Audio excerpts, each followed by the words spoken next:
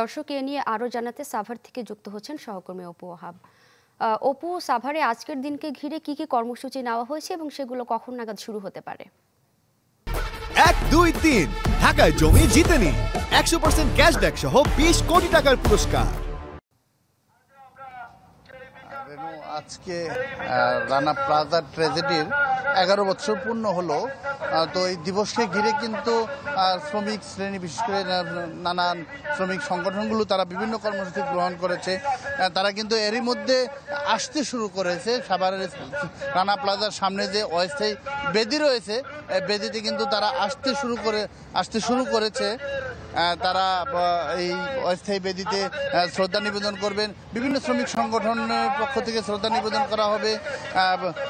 Police বিশেষ করে শিল্প পুলিশের পক্ষ থেকে শ্রদ্ধা নিবেদন করা হবে এবং এই রানা প্লাজার যে ভবনটি যেখানে ছিল সেখানে কিন্তু শ্রমিকরা সবাই জড়ো হচ্ছেন।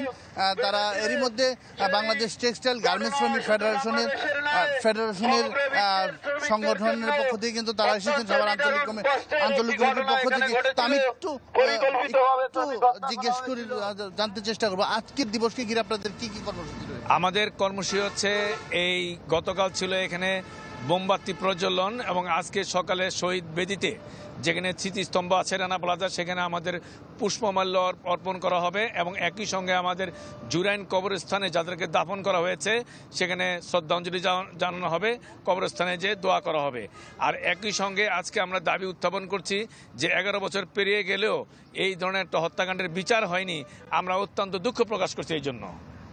আমরা বিচার দাবি করছি। ধন্যবাদ।